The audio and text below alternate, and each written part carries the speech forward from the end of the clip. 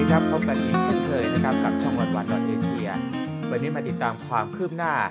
รถไฟฟ้าสายสีเขียว ส่วนต่อขยายช่วงหมอชิดสะพานใหม่คูคต ในส่วนของ 4 สถานีกันบ้าง ก็คือสถานีพหลโยธิน 24 สถานีรัชโยธิน สถานีเสนานิคม และสถานีมหาวิทยาลัยเกษตรศาสตร์ ที่ตอนนี้คืบหน้าไปมากใกล้เสร็จเรียบร้อยแล้ว แล้วก็พร้อมที่จะเปิดให้บริการได้ในช่วงต้นเดือนธันวาคม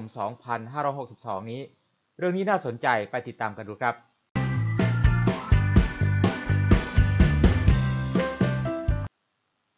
สำหรับความคืบหน้าโครงการรถไฟฟ้าสายสีเขียว ส่วนต่อขยายช่วงหมอชิดสะพานใหม่คูคต หลังจากเมื่อวันที่ 9 สิงหาคม 2562 ได้เปิดบริการแล้วจำนวนหนึ่งสถานี จากสถานีหมอชิดไปยังสถานี 5 แยกลาดพร้าว แล้วก็จะเปิดให้บริการฟรีไปจนถึงวันที่ 5 ธันวาคมนี้ จากนั้นก็จะเปิดให้บริการเพิ่มอีก 4 สถานี อย่างที่กล่าวไปแล้วนะครับ ก็มี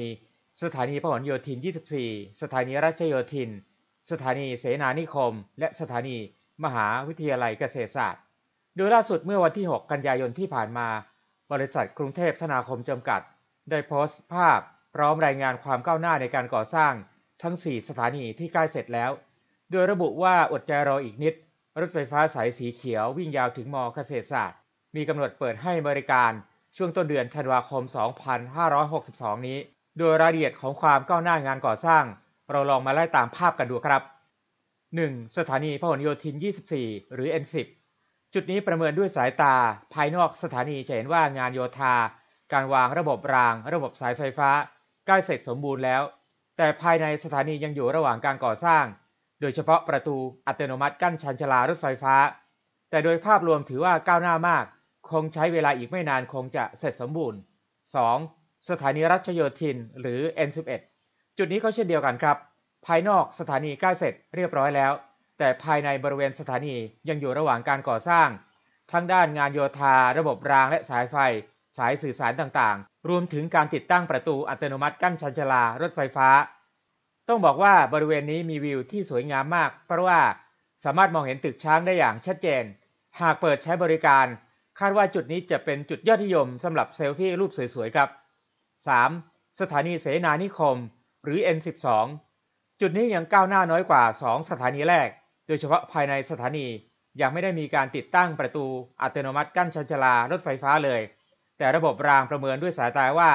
น่าจะเสร็จเรียบร้อยแล้วตามภาพที่ปรากฏนี้นะครับ 4. สถานีมหาวิทยาลัยเกษตรศาสตร์ หรือ N13 จุดนี้ก็คล้ายๆ กับสถานีเสนานิคม ที่ภายในสถานียังไม่ได้มีการติดตั้ง ประตูอัตโนมัติกั้นชันชลารถไฟเลย แต่ว่าระบบรางคาดว่าเสร็จแล้ว ที่จุดบริเวณมหาวิทยาลัยเกษตรศาสตร์ หรือ N13 นี้ก็มีจุดเด่นของวิวที่สวยงามมาก เช่นกัน ก็คือว่าถ้ายืนอยู่บนสถานี แล้วมองลงไปที่บริเวณมหาวิทยาลัยเกษตรศาสตร์ จะเห็นความเขียวขจีของต้นไม้ทำให้รู้สึกร่มรื่นและชุ่มตาครับ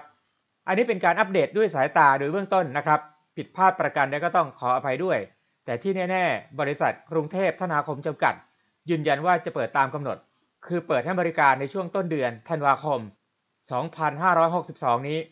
ส่วนการเปิดให้บริการตลอดเส้นทางถึงสถานีปลายทางคูคตพลตำรวจเอกอัศวินขวัญเมือง ผู้ว่าคอทม คาดว่าจะเปิดภายในเดือนธันวาคม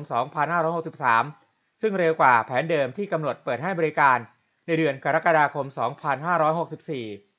อย่างไรก็อดใจกันนิดหนึ่งครับ